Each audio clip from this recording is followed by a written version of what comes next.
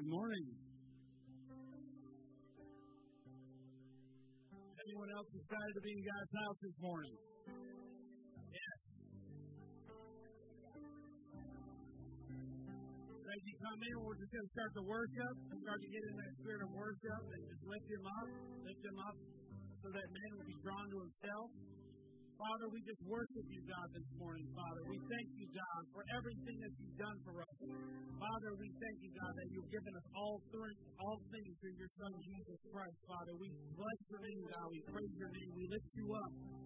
Father, we search everywhere else, God, but that's why we're here this morning, God. There's nothing better Father, than you. There's nothing better than your presence, God. There's nothing better than your spirit. There's nothing better, than, Lord, than your gospel, Father. Lord, we just thank you, God. We thank you that you're here in this place. Hallelujah. Hallelujah.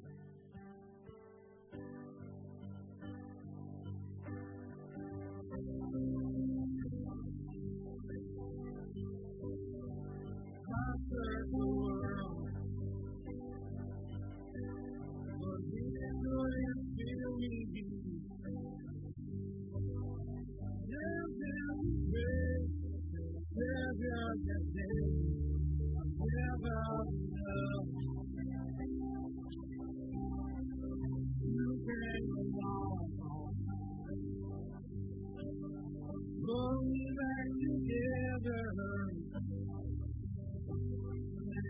every desire now satisfied.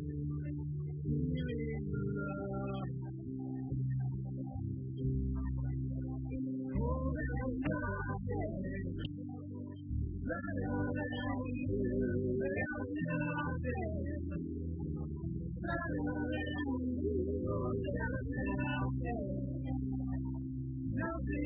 is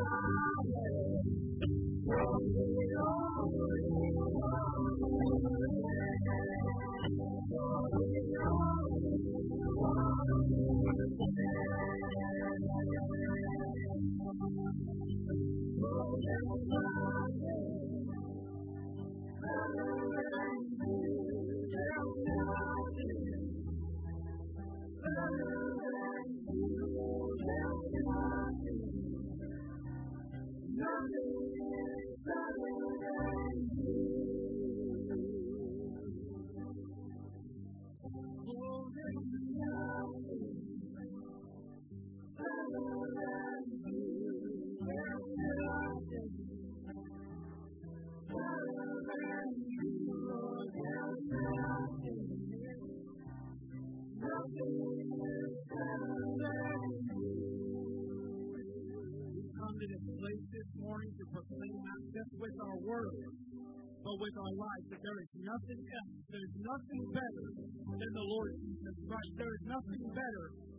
Hallelujah. There's nothing better than to commune with the saints of God and let the blessings of God come into this place. There is nothing better.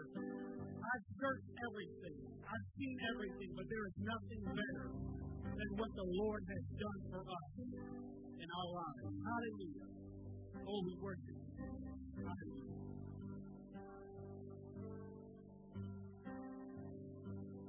There is nothing better. Can I get some hands raised high this morning? Thank God there's nothing better. God's all that we need this morning. God is good. Hallelujah. All the time. Hallelujah.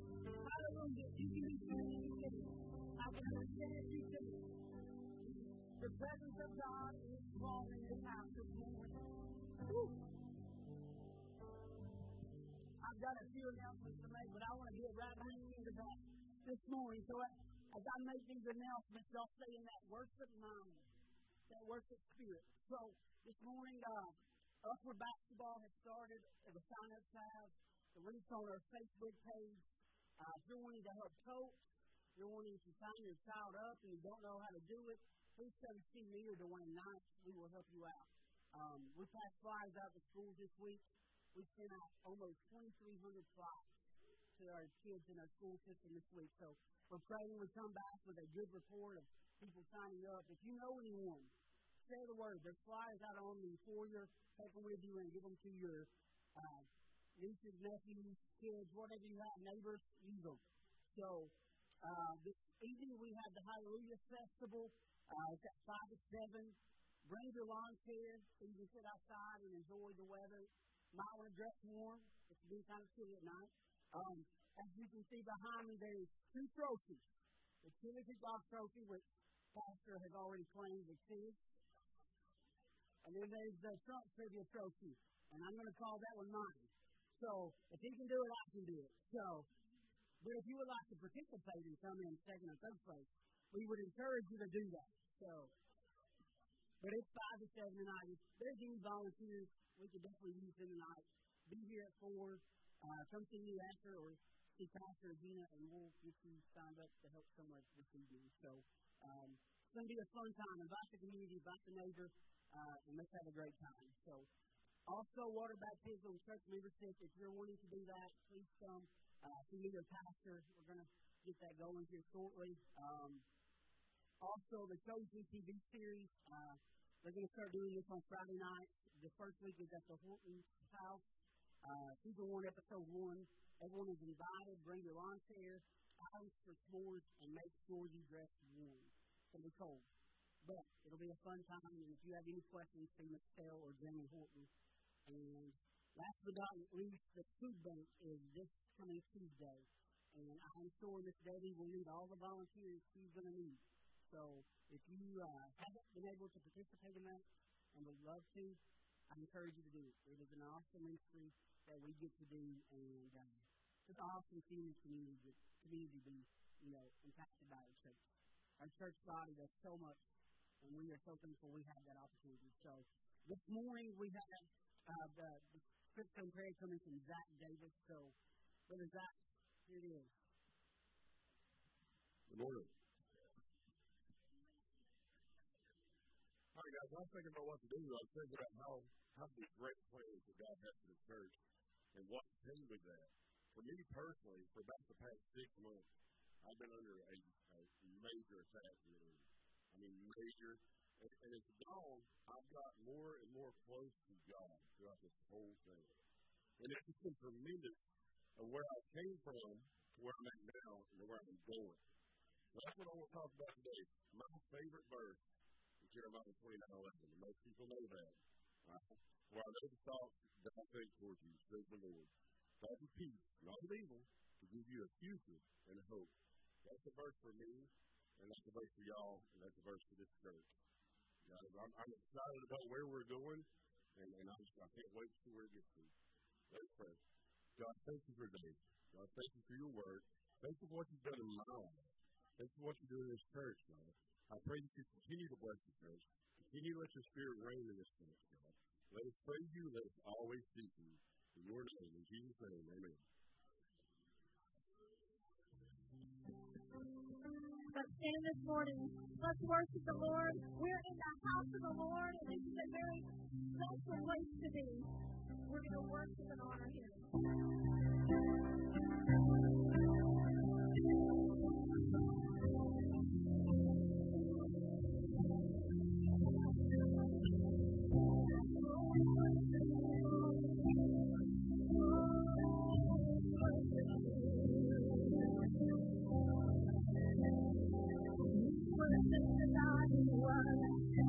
worship the God who reigns. We worship the God who ever will reign. He opens the prison doors. He parted the Red Sea. Our God holds the great door. There's more than a house in the world. There's more than a house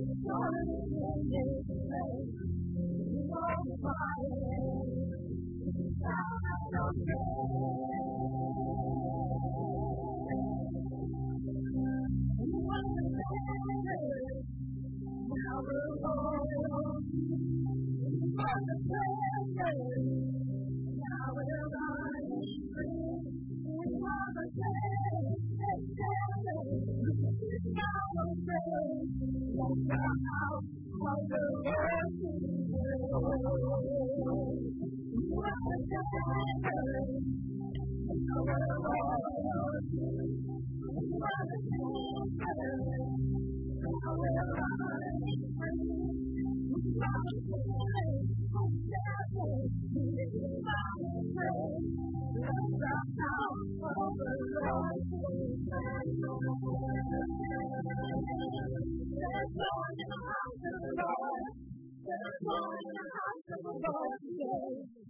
We will be There's in the house of the Lord. This. We will be There's in the house of the Lord.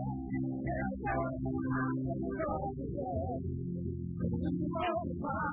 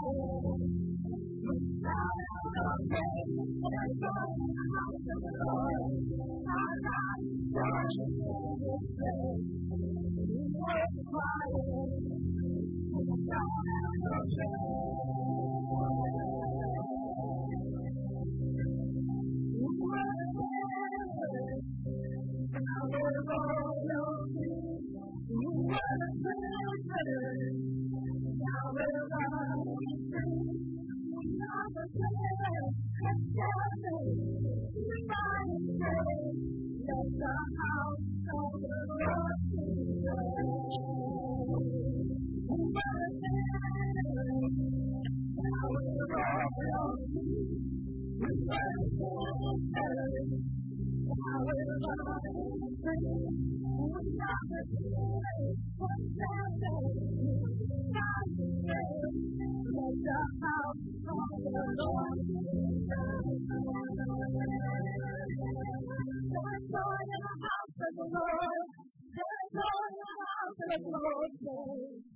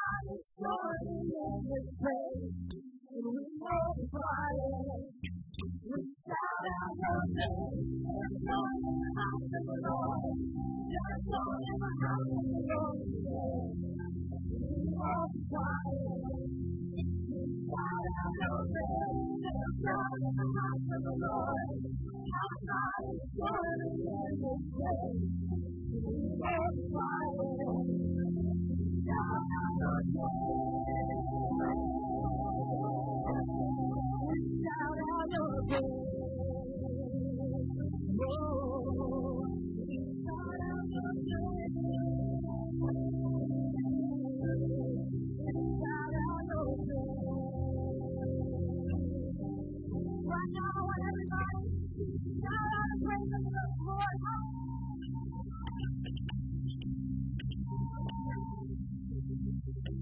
you.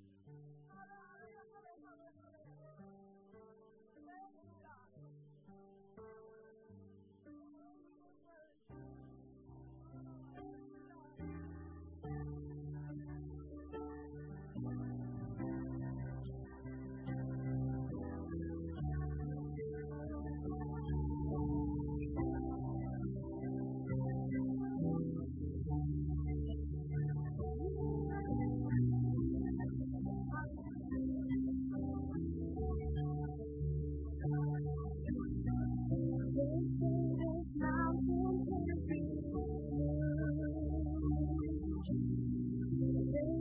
these chains will never break.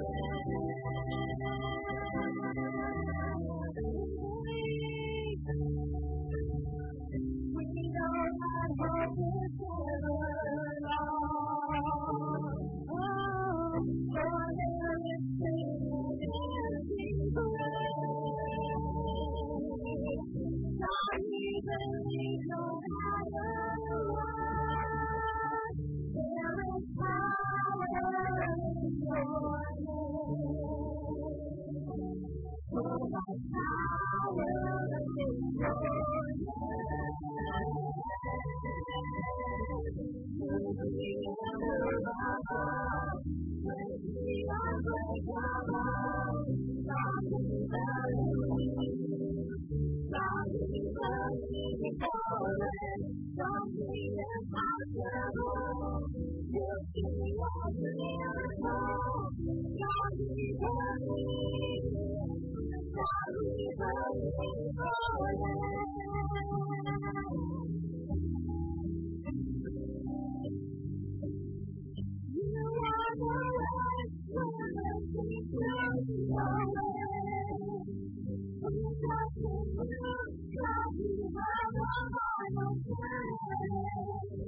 are the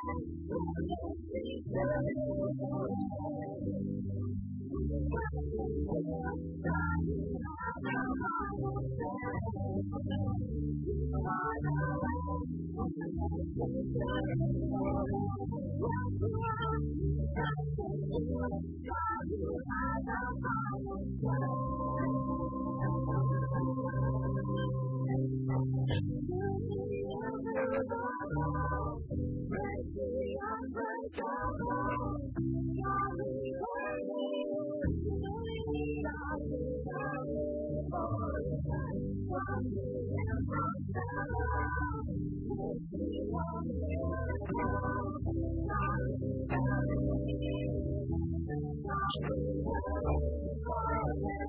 you, Lord.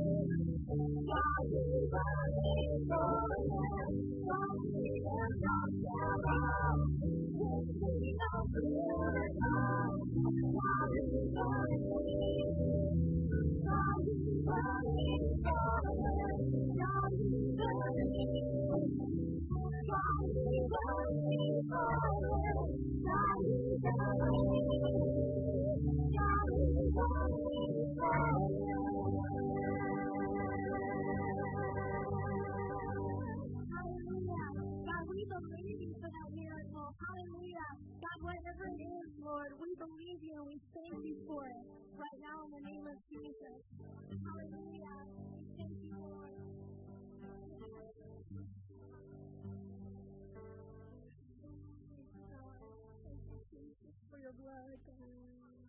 Thank you for your blood that covers our sins, Lord. Thank you, God, that your blood heals, Lord Jesus. Hallelujah, hallelujah. Praise your name, Jesus. We worship you, God.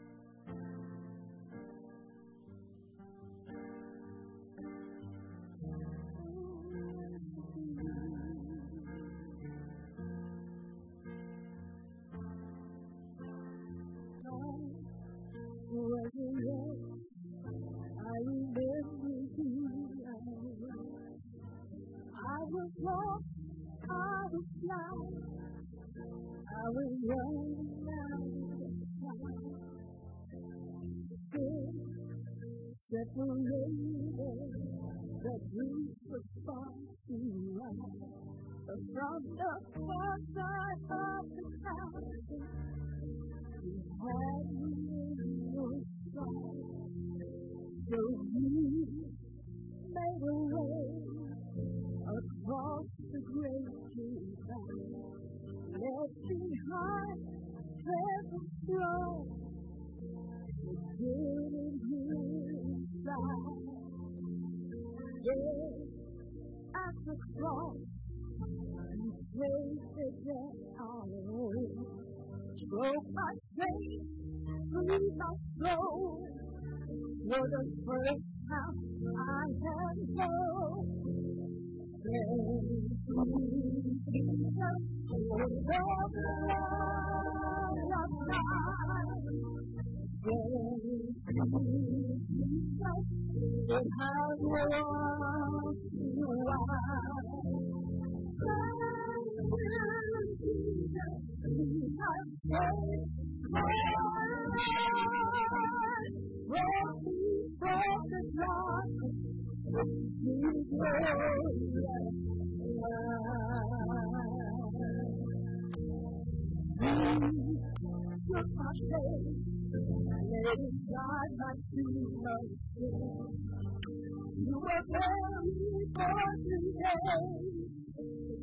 walked right out again.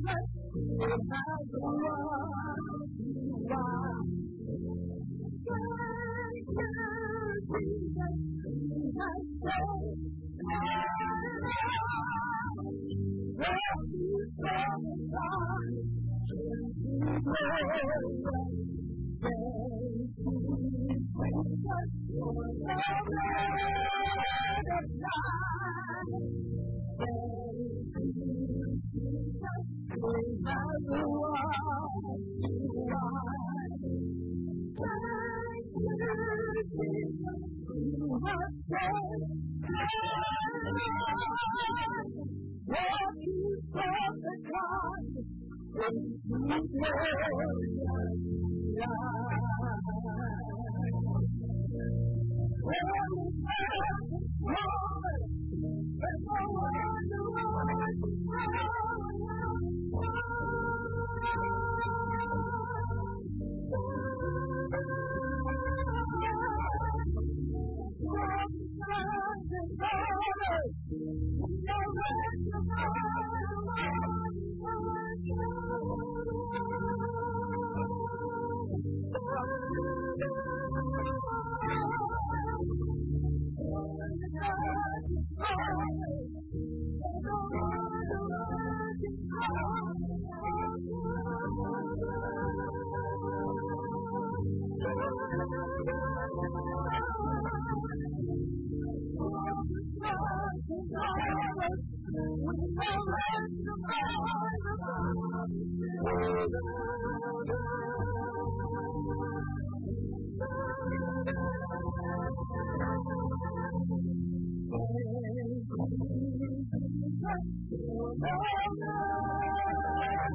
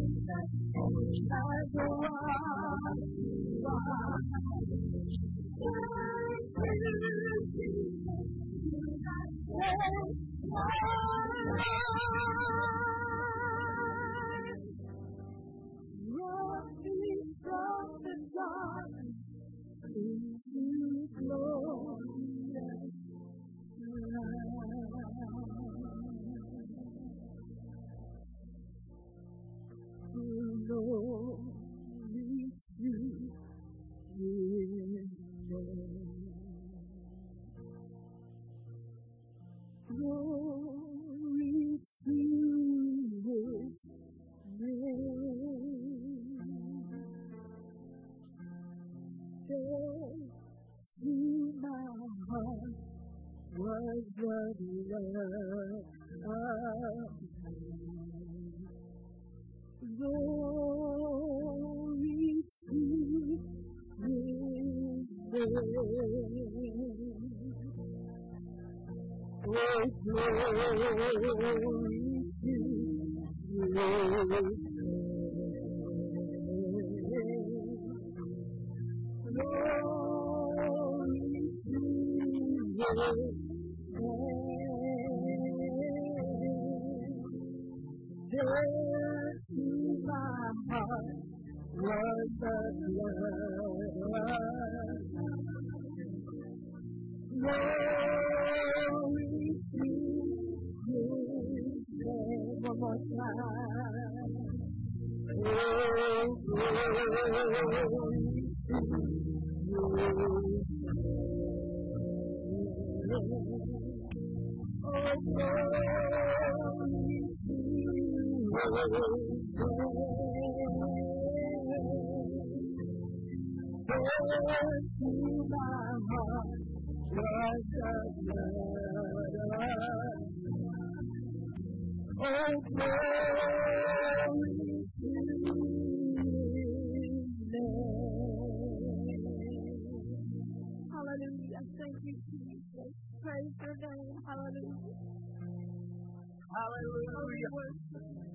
Hallelujah. Will you just worship the Lord this morning? For he is worthy to be praised. Worthy to be praised. Worthy to be praised. Hallelujah. Hallelujah. Hallelujah. Hallelujah. Hallelujah. Glory to his holy name. Glory to his holy name. Glory to his holy name.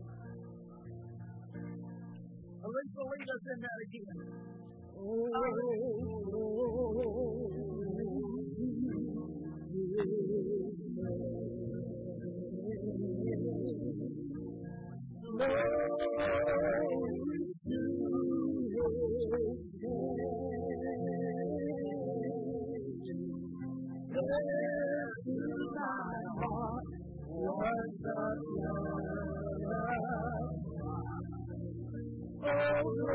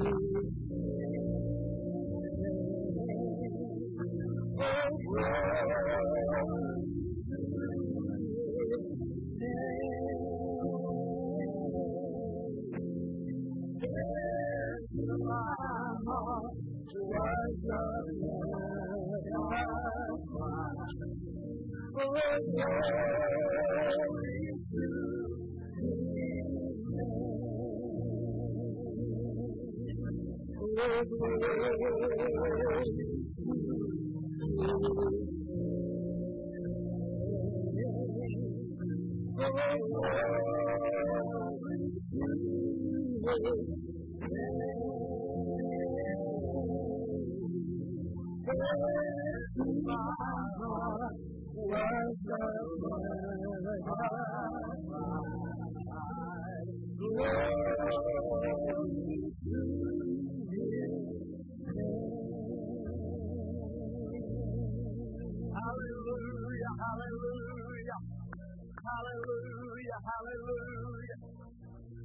hallelujah, hallelujah, hallelujah. Can I tell you something as I was sitting back there just a few moments ago?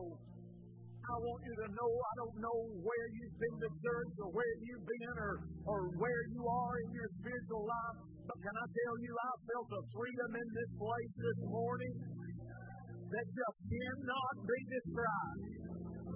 Felt the freedom in this place just to let go and let God. Anybody else? Just to let go and let God. From the very beginning song through the scripture and the prayer and through the worship, God is just leading us into the very presence of God. And when we're in His presence, we need to give glory to Him.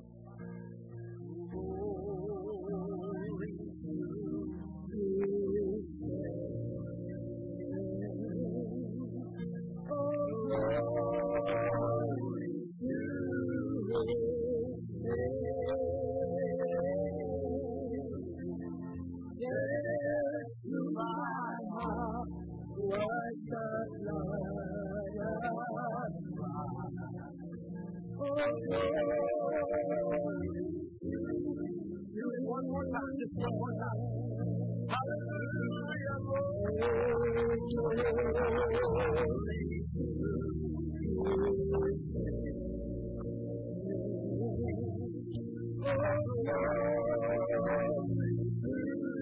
Oh,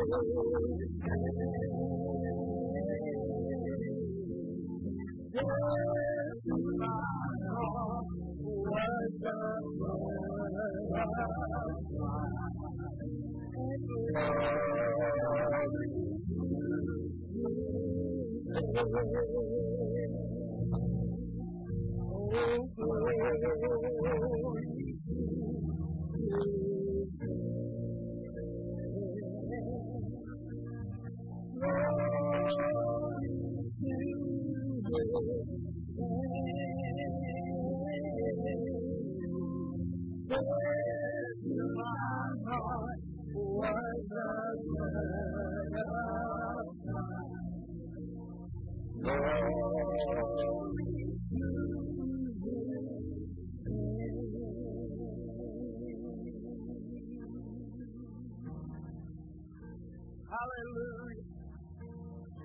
Hallelujah.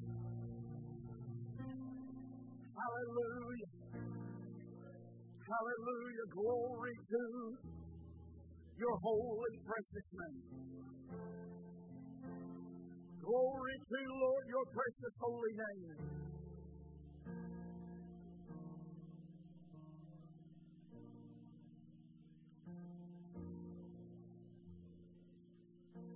Anybody tried to drink from a fire hose? I feel like I'm trying to drink from a fire hose this morning. You've been there, and oh, goodness gracious.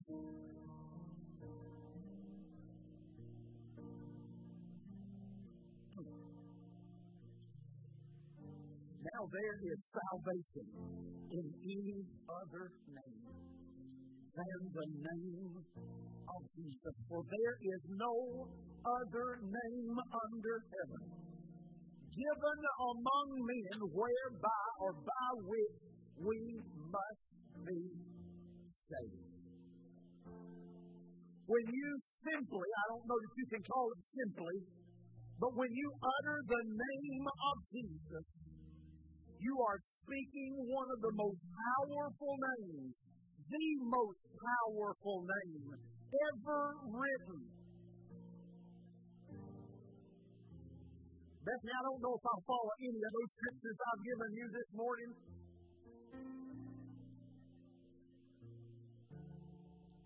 To be like Travis. If you can, you can be seated. I'm going to tell you something. God is. I was going to preach this morning, and I'm still going to weave it in, but we've been talking about my church, about the church. God said, or Jesus said, Upon this rock I will build my church, and the gates of hell, somebody say it, shall not prevail against it. Church, there's been a word spoken. We need to pray over. We need to lay down weariness. Anybody come in this morning weary? Anybody come in weary? You don't have to raise your hand. But if you came in weary, you need to lay down the weariness. For in the name of Jesus, there is strength, there is power, there is, there is peace, there is comfort in the name of Jesus. We can lay it all at His feet. We can lay it all at His feet. Unity, the U in church, CHU stands for unity. And I want to read a couple of scriptures, and I'm, please trust me, I don't know which direction I'm going right now, but I do want to give you these two scriptures Acts chapter 1, verse 14, and then Acts chapter 2, verse 1. These all continued with one accord in prayer and supplication with the women and Mary, the mother of Jesus and with his brothers. And then Acts 2 and 1, when the day of Pentecost had fully come, they were all with one accord in one place. Can I tell you something? There is power in the name, but there is power in this place when we come together. There's power in this place and we put everything else aside and we come together to do nothing more than to worship Him and to hear from heaven. Unity is what brings this atmosphere. Can I tell you, like I said, when I was standing back there, I felt such a freedom. Anybody else this morning, I'm telling you, a freedom, and you say, Pastor, you never felt that freedom? Oh, I felt freedom before. But man, there's just something going on in this place that is supernatural that is just supernatural. We, we, we don't understand it many times. We don't know why. We don't know how, but we know that God is in this place through His Holy Spirit, and it's because we are unified.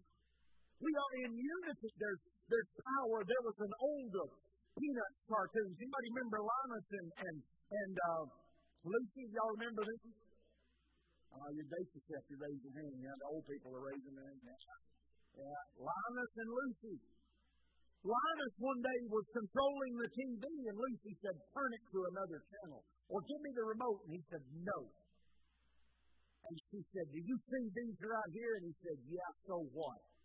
And she said, Alone they may not be much, but when they all come together, there is power. And Linus said, What channel do you want it on? Church, can I tell you something? I believe when the body of Christ begins to come together and begins to be unified, there is power in this place. There is power in the name. There's power when we go outside these doors. In unity, we're here this morning. Let me tell you something. I, felt the Lord speaking two scriptures to me this morning. You just see how this fits in. In, in Luke chapter 4, about verse 18, when Jesus stood up in the temple and took the, the scroll, do y'all remember this scripture? And he read from Isaiah, Isaiah 61. And as Jesus opened it up, he began to read in verse 18. He said, The Spirit of the Lord is upon me because he has anointed me to preach the gospel to the poor. Church, I'm giving you the gist of the gospel of Jesus Christ right here in just a few words.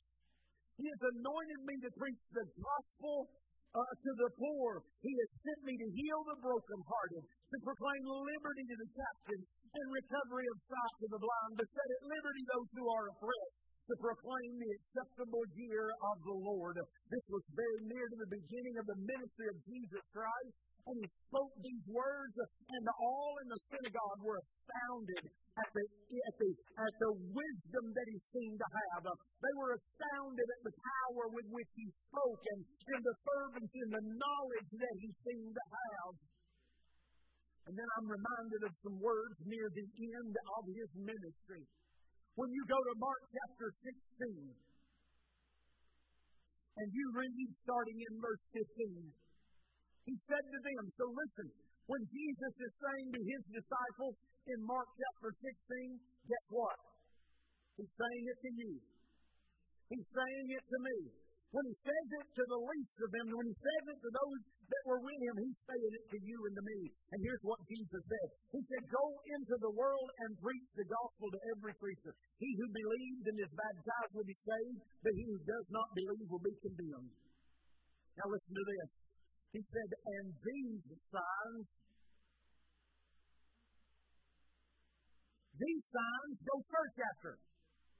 No. And these signs will do what? Follow who? Those who believe. Those who believe in unity, when we come together in unity, and when we're unified as a church group, which we are, as a body of Christ, which we are, there begins to be power in that. Like Lucy, when she curled those fingers together and Linus knew she meant business, there was power in those fingers. Church, can I tell you something? When we come together, the very words of Jesus Christ here are poured out into our lives. Are you with me? He said, Go into all the world and preach the gospel. Now listen to what he said. And these signs will follow you. You need to make it personal this morning. Will anybody make Mark 16 personal with me this morning? And these signs will follow you. What will we do? These signs will follow you. What will we do? Cast out demons. Church, it's time we got busy in spiritual warfare. It's time we get busy in spiritual warfare because we're not fighting carnal, uh, waging carnal war. We're waging spiritual war. We're in a spiritual battle. Our, our efforts must be spiritual. Our weapons must be spiritual. We're not fighting man and flesh and blood. We're fighting principalities and powers of darkness. That's who we're fighting. And church, can I tell you, we can't do it alone. Oh, come on. We can't do it alone. You need me. I need you. We need each other when we're unified. Jesus spoke to these disciples and he said, In my name, listen to me, there is power in the name of Jesus. When you've got a relationship with Jesus Christ, there is power in his name. I go off, and Bruce, it reminds me of a story where there were seven sons of Sceva that tried to cast out a demon. They saw this, this wonder working power in the disciples. And they said, Boy, that's pretty cool. And they go to one bound with demons and they said, In the name of Jesus Christ, whom Paul preaches, we rebuke you. Now listen, if, if that, that name Jesus Christ is something to you, if you got a relationship with Jesus, that will mean something. When you get into demonic warfare and you say, In the name of Jesus Christ, demons will begin to screech. Demons will begin to foam at the mouth. Demons will begin to shudder. They'll be able to, they'll begin to quake and try to hang on to what they have. But when you don't have a relationship with the one whose name you're using, there's no. And the seven sons of Sceva found out, and the demon said, hmm, Paul we know, and Jesus we know. But who are you? And then they leaped on him. You see, demonic warfare. We need to be ready. We need to be unified in one body, in one mind, in one accord. A lot of people are saying, oh, Pastor, don't talk about demonic warfare.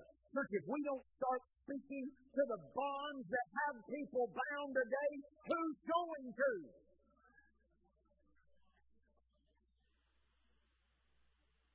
It's time we begin to do it. And the demon leaped on them, beat them, scratched them, stripped them naked, and sent them on their way.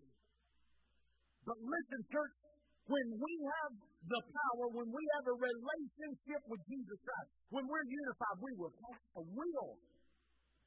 Read the scripture, will. Not might, not a possibility, but will. Excuse me. They will speak with new tongues. They will take up serpents, and let me clarify. There are no boxes here. There will never be any boxes here. If you bring boxes in, you better bring in a new pastor. Because I'm going to tell you what taking up serpents means. Serpents, if you remember in the Garden of Eden, the devil took the form of the serpent. Serpents have always, through time, meant demonic activity. They've always meant the devil. Let me tell you something what it means. When he says you will take up serpents, it means they will be under our feet and we will kill them. We will do warfare with serpents. It doesn't mean taking them up and playing with them. It means putting them to death. It means fighting a good fight casting them out of those that are bound, having the power that is within us because of the name of Jesus Christ. And if they drink, if, notice the if, they drink anything deadly, it will by no means hurt them. Come on, listen to me. And they will lay hands on the sick, and they will recover. Mm. They will see it. It is biblical. You can find it. It's biblical. Joshua, lay hands on them. Boom heard a kid one time, he said, Man, Mama said the preacher knocked that guy out this morning. No, he didn't knock the guy out, he just laid hands on him and the Spirit took over.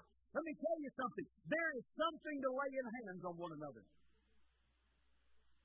There's something about laying hands on one another. Let me tell you something. It says that we will cast out demons, speak with new tongues. We will take up serpents, and if we drink anything deadly, it will not harm us. It'll lay hands on the sick, and they will recover. I believe what is just around the bend for this church is to begin to see lives change dramatically. I believe God is showing us that He is going to bring people through those doors. Hmm, come on.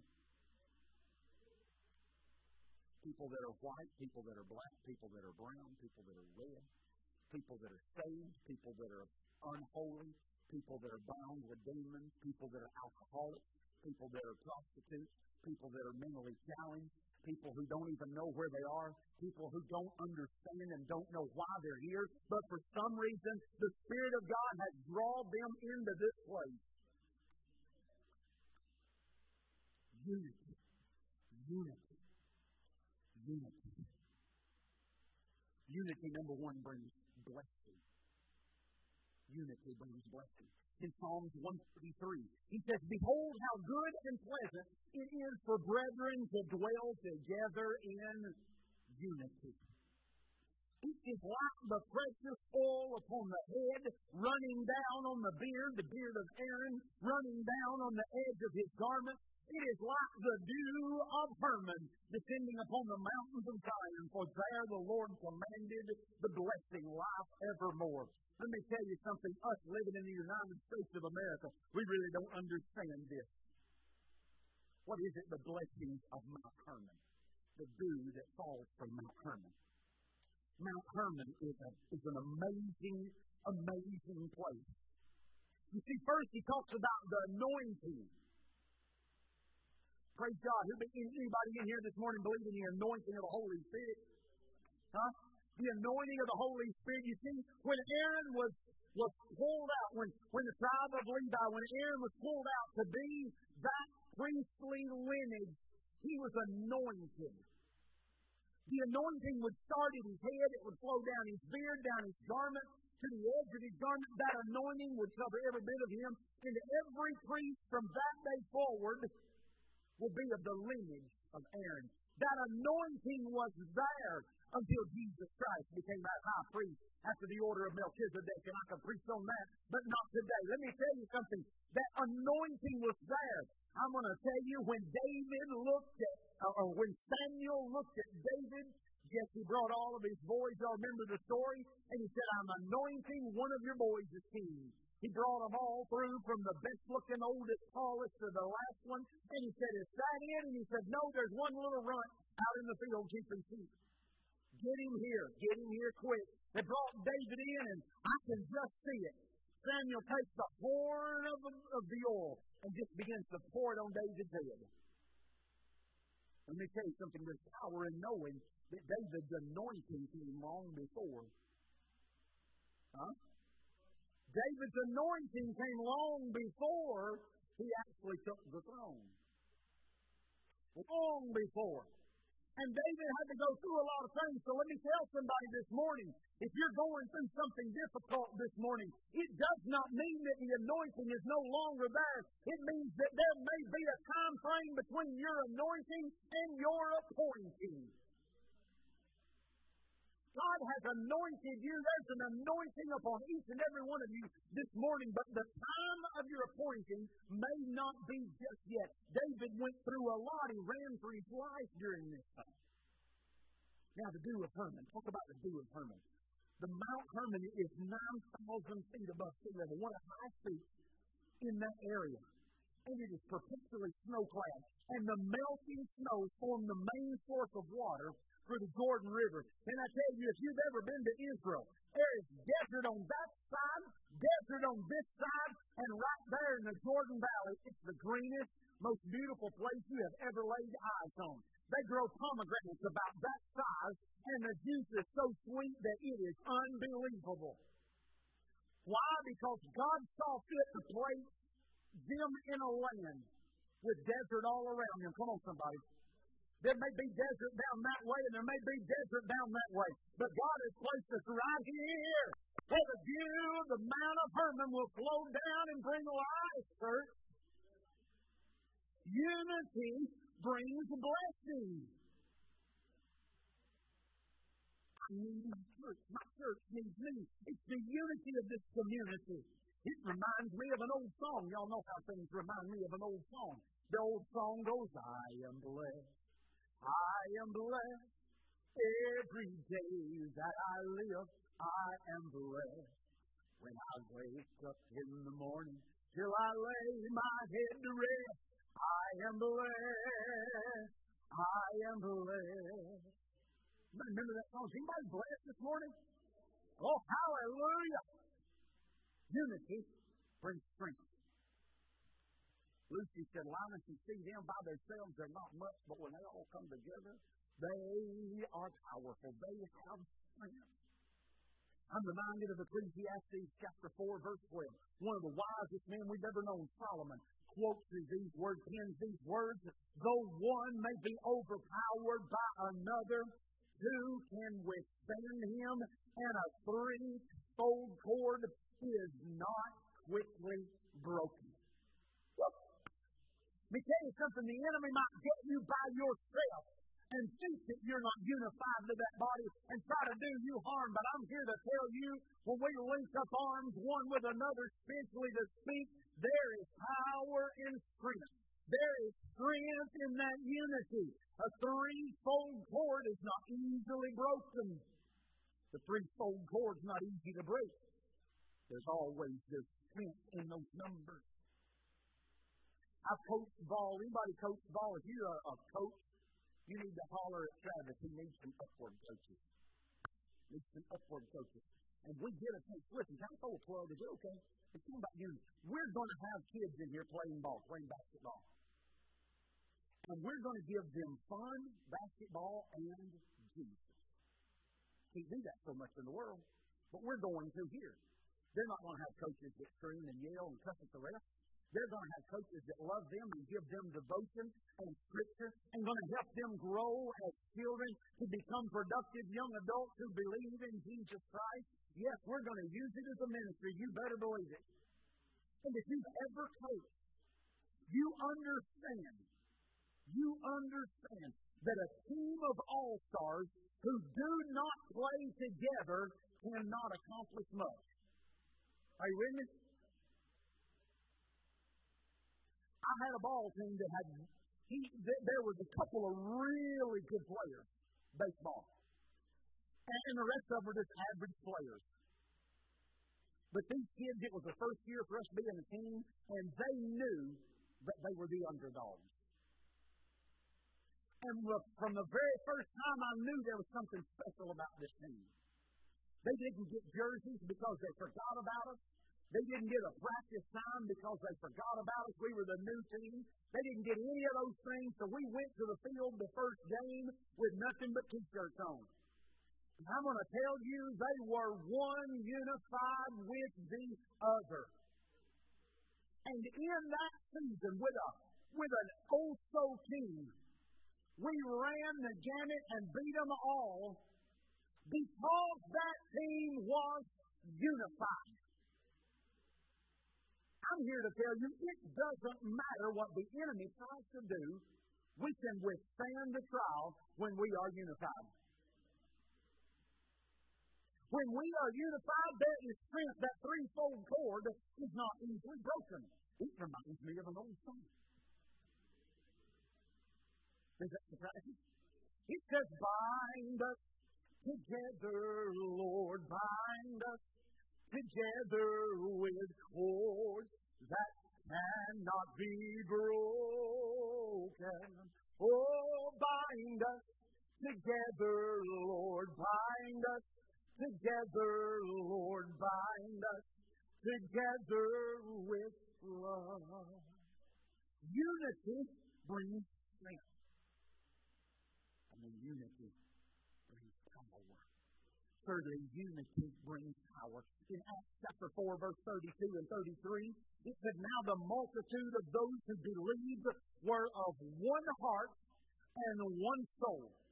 Neither did anyone say that any of the things he possessed was his own, but they all had, but they had all things in common, and with great power. Somebody say great power.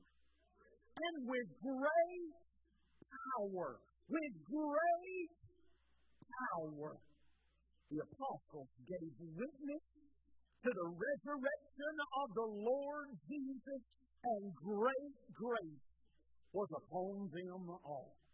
How many of you are glad great grace is upon us this morning? In unity, there is power. Power to speak to demons, power to lay hands on the sick, power to cast out those bondages, to break those chains of bondage, to cast out demons that are oppressing and possessing. There is power. Jesus said, You shall receive power when the Holy Spirit has come upon you. Church, let me tell you something. That power is described by a Greek word dunamis, which means it needs nothing else like a dynamo, it can recreate itself. Church, I'm here to tell you when we come in and we start to worship and the worship team begins to lift their hands and lead us in song and one begins to stand, and then another begins to stand. Hands are raised, and praise is going up. Can I tell you something? There is power that the devil in hell cannot stand. And he wants nothing more than for when you come into those times for the devil to look at you and say, You look ridiculous. Look at you. Listen at you. You know what your neighbor over there is thinking about you? They're thinking, What a nut he is. And that's what the enemy wants to do. He wants to cause you to doubt and to worry about what somebody else is saying. Can I tell you something? I know we can't all sit on the front, but I, one thing I like about it, Bruce, is when I'm standing here, I don't know what anybody else behind me is doing. Anybody? I don't know what's going on around me or by me or beside me. I just pray that I don't knock my wife in the head with an elbow as I'm worshiping. In Acts 2 and 1, it says, When the day of Pentecost had fully come, they were all in one place. And then I like the way it says, and suddenly. I'm ready for some suddenlies. I'm ready for some people to come to the altar to lay hands on them and then begin to speak with other tongues. I'm ready for some suddenlies of the power of the Holy Ghost begin to touch over this place and reach down and heal the brokenhearted, to set free those that are bound. I'm looking for the suddenlies of the Holy Ghost to fall in this place. I believe He wants to do it. Unity will bring that unity. The unity of the early disciples in Christ Jesus brought power against the enemy and authority to trample on serpents and scorpions. It gave them power. What does that tell me, Pastor? It tells me that I don't fear. The scripture even says, don't fear what man can do to you. We used to have a boss when I worked public work, and he was mean. Boy, he was mean. He wanted what he wanted, and he wanted it now. And some of them would fret after they'd done everything they could. They'd fret and they'd worry and they'd, they'd pace and they'd beat themselves to death and just almost get plumb sick. And they'd look at me as I'm just sitting at my desk and they're saying, Jim, what in the world is going on? I said, What's the worst he can do?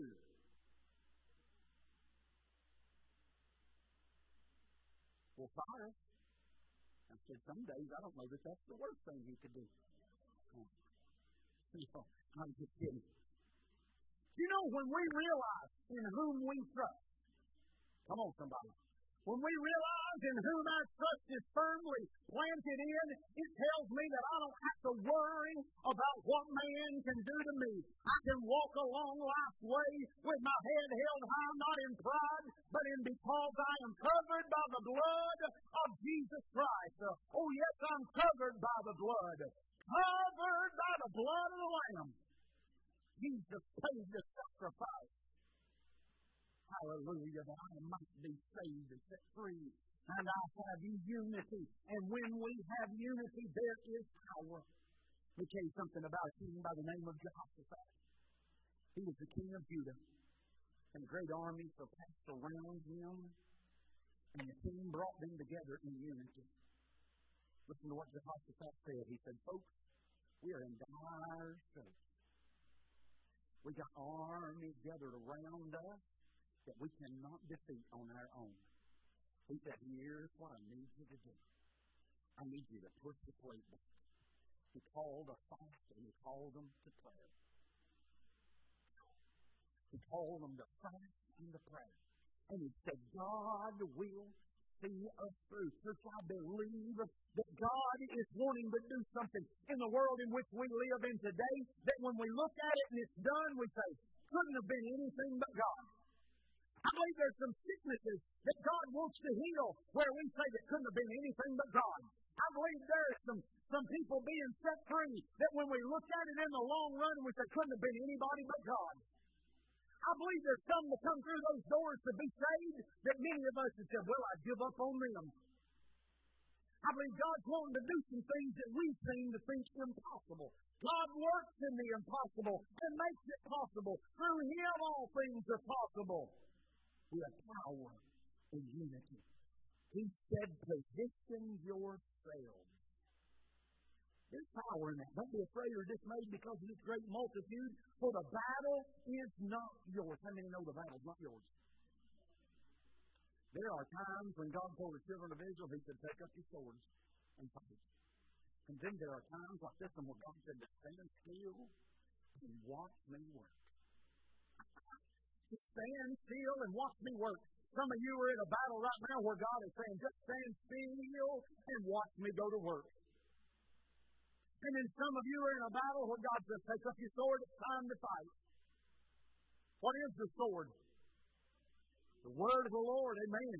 Amen. I'm here to tell you, unity brings power. There's power in the name of Jesus. Demons flee. Sickness is healed.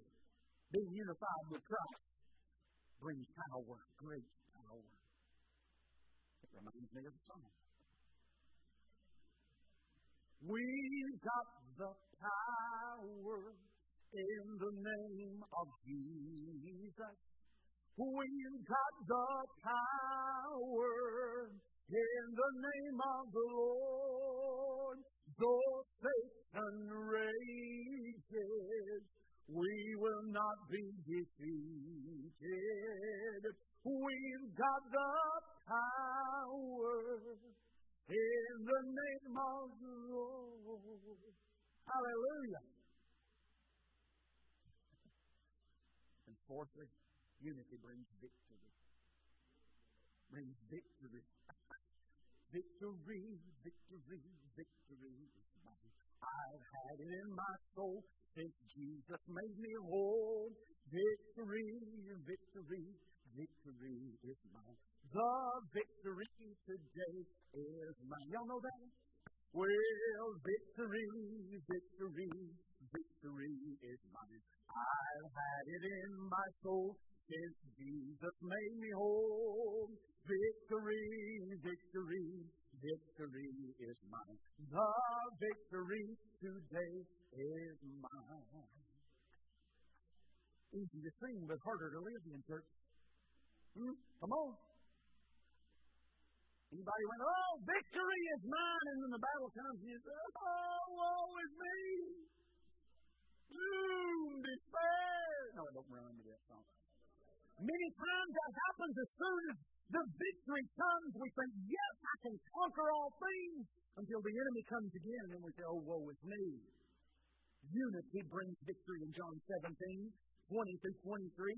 He said, I do not pray for these alone, but also for those who will believe in me through their word, that they all may be as one, as you, Father, are in me, and I in you, that they also may be one in us. Come on, church. There is something to this oneness. I'm not talking about Jesus only. I'm talking about the oneness, Brandon, that we share with God through Jesus Christ. I'm talking about the oneness of God, the God, the Godhead, the three in one with you and me, with us in Him and He in us, and, and them in us, and their words in us. I'm telling you, unity brings victory.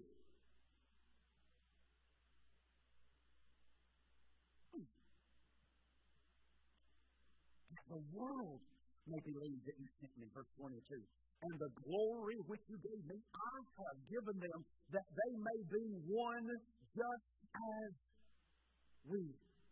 Whoa, did you hear that? Back up!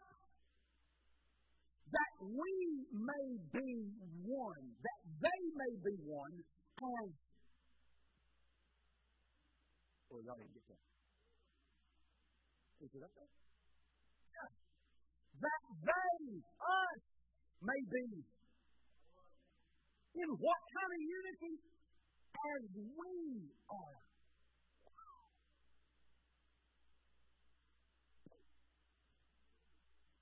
Huh?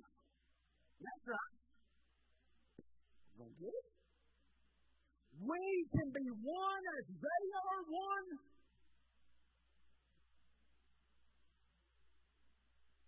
It's not there. Those aren't just words. Those are Jesus' words. I in them, you in me, that they may be made perfect in one. What does perfect mean? Complete. Complete. Complete. Not because of my education, not because of, uh, of my position or my place or my name, but can I tell you what? I have everything I need to live the life that God has called me to live. Why? Because of whose I am. Because of whose I am. I am His, He in me, and I in Him. We in one another. 1 Corinthians 15 and 57, Paul says this, but thanks be to God who gives us what? Victory. Victory. If, if, if Tennessee had a beat Alabama last night, I said yes. You Alabama fans want to preach it, then you can preach it your way. Amen. If Tennessee had won last night, Josh, I would have lost my mind. Anybody else? Oh, come on. Y'all are not, y'all not being honest with me. I would have, Quentin, I would have lost my mind. You better believe if that victory had come, I would have went ballistic. Church, we need to be understanding that the victory is ours, and when victory comes, we need to be shouting it to the highest hill. When somebody gets saved in this place, we need to go back to work and say, Whoop, God saved another one. When people are baptized, we need to say, Whoop, people are getting baptized. When people are filled with the Holy Ghost, we need to say, Man, you need to be seeing what's going on that God's doing in our church. When people are set free, when people are healed, we need to be going to others and say, Man, you got to come and be a part of what God's doing at the Dayton Church of God. It's victory in unity. Jehoshaphat and his people came to a place overlooking the wilderness where the enemy was all they could see. All they could see was the enemy. Many of you have been to a place where at times all you can see is the enemy. You look around and sickness is at your door, death is at your door. Can I tell you something in the last two months? I've seen enough death to last me the rest of a lifetime. But guess what? It makes me know and understand that in these physical bodies we live in, we are all bound for that place if Jesus doesn't come back. Come on.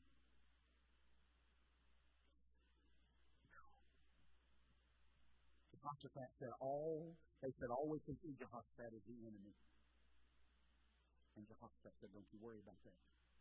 You fast and you pray and you just stand and see the glory of the Lord. And they woke up the next morning and they looked out what they saw? Dead bodies. The enemy was gone. There's unity. There's power. There's victory. There is strength in unity. And we're unified. Unity in their prayers for Peter. You remember when the church was gathered together at John Mark's mother's house? Y'all remember that? And they were praying, Oh Lord, set Peter free. Pastor, you don't know what they were praying. No, they were praying for Peter. They were praying for Peter. Lord, Lord, Peter is in jail. They're going to kill Peter. Set him free, Lord. Set him free, Lord.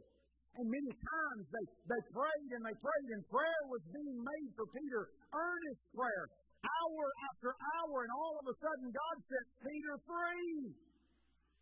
Can I tell somebody this morning that earnest prayer will set people free? Earnest prayer, prayer and fasting will set people free. And they began to pray, and Peter was loose from the prison. And he went to John Mark's house and rapped on the door. And a young lady came to the door and screamed. And she said, It's Peter, it's Peter. And they said, Oh, you're crazy. Peter's in prison. How many times we laugh at them, but how many times do we pray like that? Mm. Don't tell me to preach it, I'm able to. Many times we begin to pray and we say, Oh God, healing in the name of Jesus. And then we walk away saying, I sure hope he hears that. I sure hope he. And we say, Lord, deliverance in the name of Jesus. And we walk off saying, Oh, I sure hope he believes. I sure hope he hears that. I sure hope he hears that. Lord, my children are lost. Lost, Lord, save them. And then we walk away saying, Oh, I sure hope he heard that. I sure hope he heard that. I hope he can do that. Church, I'm here to tell you we serve an all powerful God that has already given us the victory. We are more than conquerors, overcomers through him. That's who we are. We're not some band of vagabonds just following a dead leader. We are born again, blood bought, Bible believing children of God. Following the one and only true Messiah, Jesus Christ. The way, the truth, and the life. There is no other. There is no other way. Oh, I need to say that one more time. There is no other way. You can't do enough good. You can't make enough fried chicken for the bake sale. You can't make enough things. You can't come to church enough to be saved. It's only through the blood of Jesus Christ. And he whom the Son has set free, is victory in unity. Unity in Christ brings victory over death. Church, listen. There is something that you and I don't really have to worry about. We might not understand it, but we don't have to worry about it. Death holds no power over us. Hmm? Come on. Come on. Death holds no power. Death holds no power. There's, there's victory in this unity in Jesus Christ. No temptation has overtaken you that is common, that is uncommon, that is common to man. God is faithful and will not let you be tempted beyond your ability, but will make a way of escape. He'll make a way of escape. Worship team would come on. I want. I'm gonna wrap it up right here. Moses reminds the children of Israel when you go out to battle against your enemy and you see horses and chariots and people more numerous than you, do not be afraid of them, for the Lord your God is with you, who brought you up from the land of Egypt. So it shall be when you are on the verge of battle that the priest shall approach and speak to the people. And he shall say to them, Hear, O Israel, today you are on the verge of battle with your enemies. Do not let your heart faint, do not be afraid, and do not tremble or be terrified because of them. For the Lord your God, come on, somebody, you need to hear this. For the Lord your God, this is from Deuteronomy, but boy, I'll tell you, it'll preach from Deuteronomy chapter 20. For the Lord your God is he who goes with you to fight for you against your enemies to save you. God is with you wherever you go, fighting that battle for you sometimes and with you.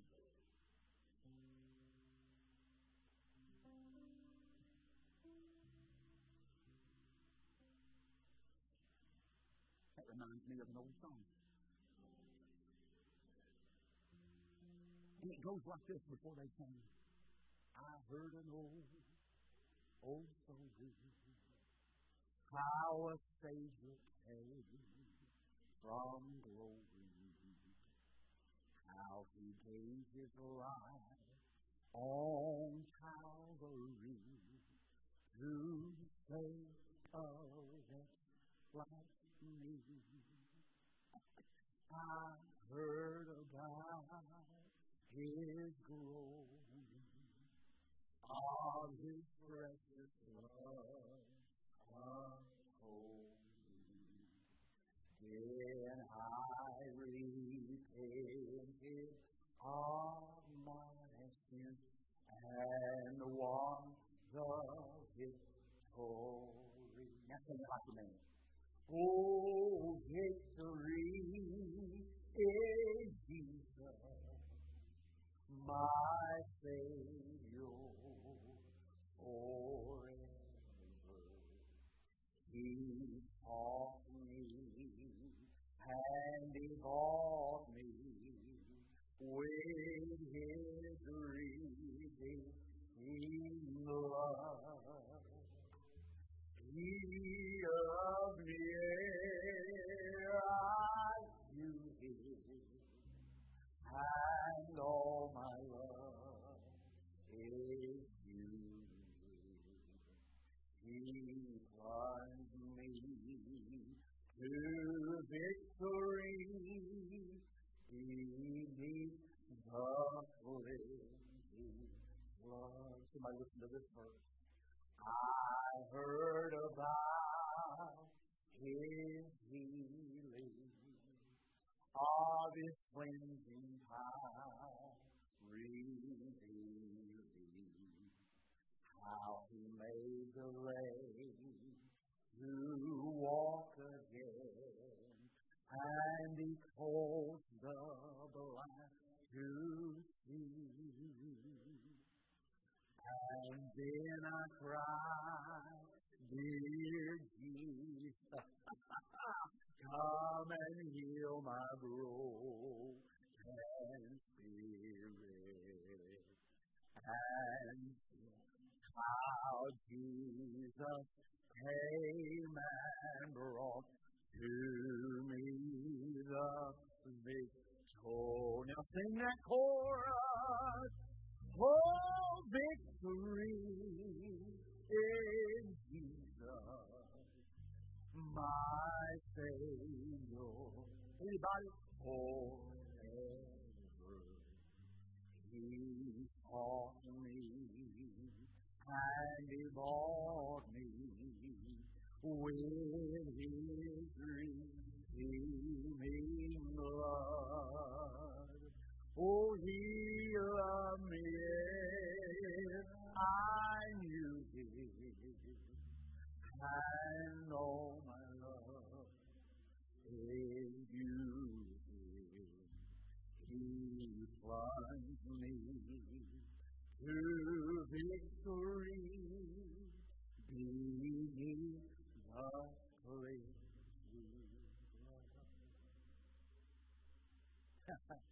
Here's what we're looking forward to. I heard about a mansion he has built for me in glory. Anybody got a mansion built for you in glory? I've heard about the streets of gold beyond the crystal sea. About the angels singing and the old redemption story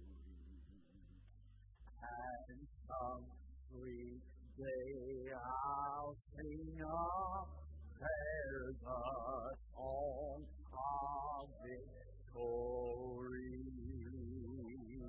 Oh, victory in Jesus, my Savior, forever.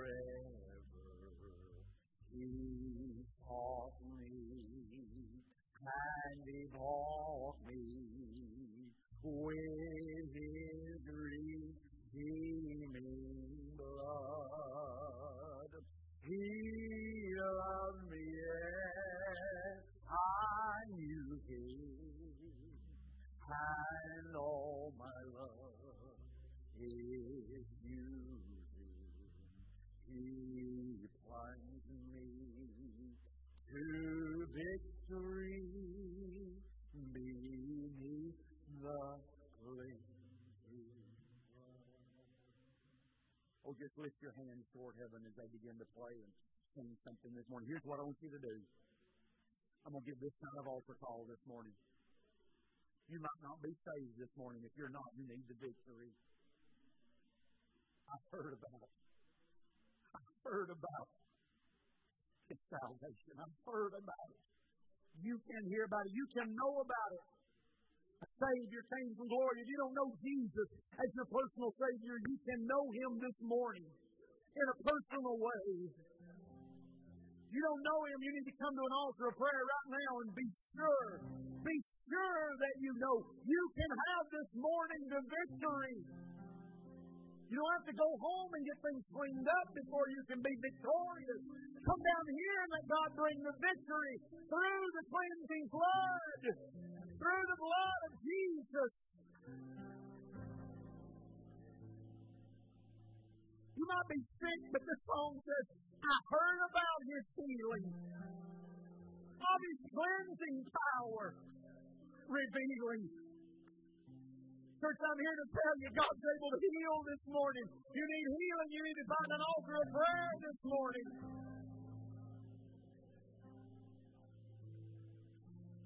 Maybe you're bound by the things of this world. You need victory. Unity. Unity brings blessings. It brings power. It brings strength. And unity brings victory. I'm here to tell you this morning you need prayer right there where you are. is a good place to get it. Those that are around you, if you just want to lay hands on one another and just begin to pray, just begin to pray for one another. There's power out there.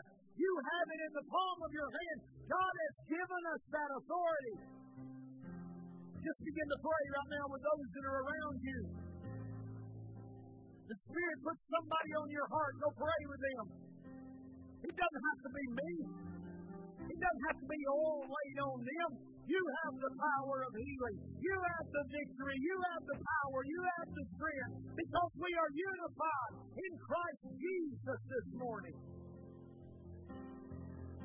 Power in the blood. Power in the blood.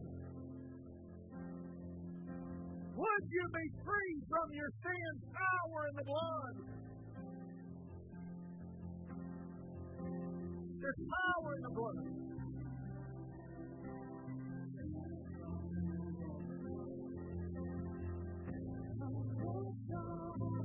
Yandalara bak, yandalara bak, hayırlar. Oda bak, yandalara bak, hoşlanlara bak. Come rest on us. Come rest on us. Yandalara bak, hoşlanlara bak, hayırlar. Come over us. Come rest on us. Come rest on us. Jesus, we worship. Over the lions, we come over. Come rest on us. Come rest on us. Come rest on us.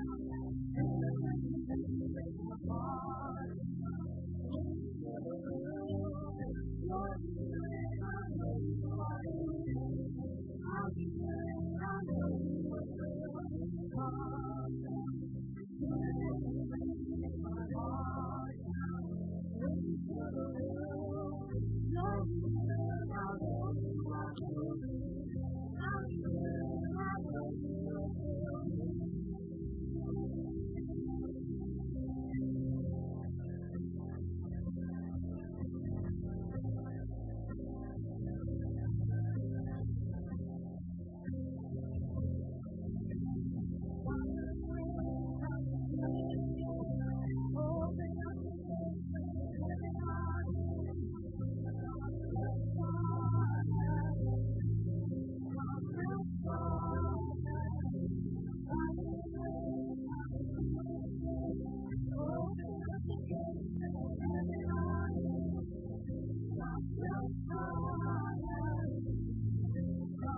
Oh, no.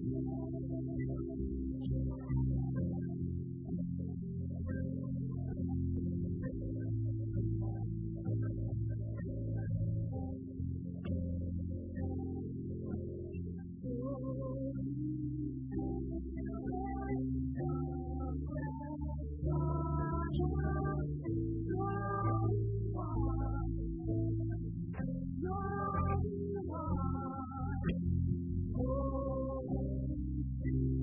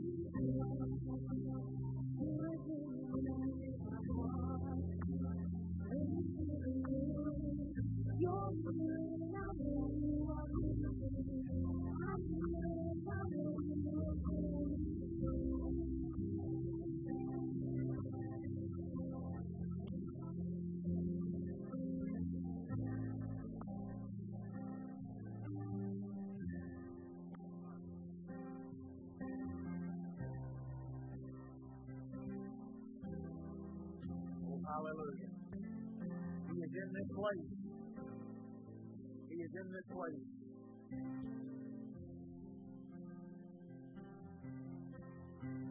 Unity. Unity brings power. It brings blessing. It brings strength. Unity brings the victory. We are victorious. I want you to say that. I want you to just say it. I want you to mean it. I am victorious. Say it again. I am victorious.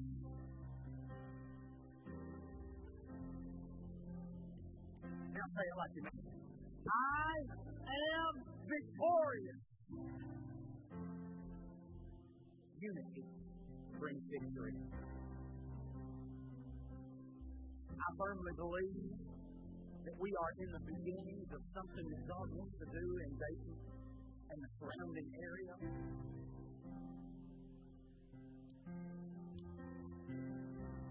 Church, let me tell you something. You might not understand why I say this when I say it, but just give me just a minute. We're going to get the attention of the devil. Hmm? We're going to get the attention of the devil. When you begin to go into his playhouse and begin to pull them out of bondage that he has in, and they begin to come to the Lord, and those bonds break off. They begin to get plugged in. They begin to get unified with the body of Christ, and the chains break loose. And the, and the power that drugs once had on somebody, it doesn't have anymore. And, and, and the power of alcohol that once held somebody bound and addicted no longer holds that power over them. You're going to begin to get the attention of the devil.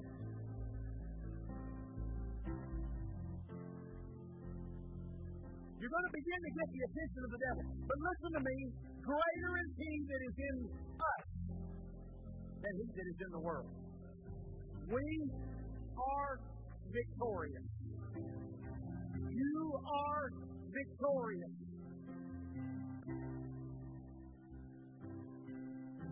I say, let's go get the devil's attention. I say, let's go out there in the streets and begin to pluck them out of the ditches and the gutters and the homelessness that bury. Come on. Let's begin to go out there and minister to them in the needs that they have. And let's begin to draw them into a relationship with Jesus Christ that will radically change their life. Huh? Unified, there is nothing that we can't do. There is nothing that a unified body of Christ cannot accomplish.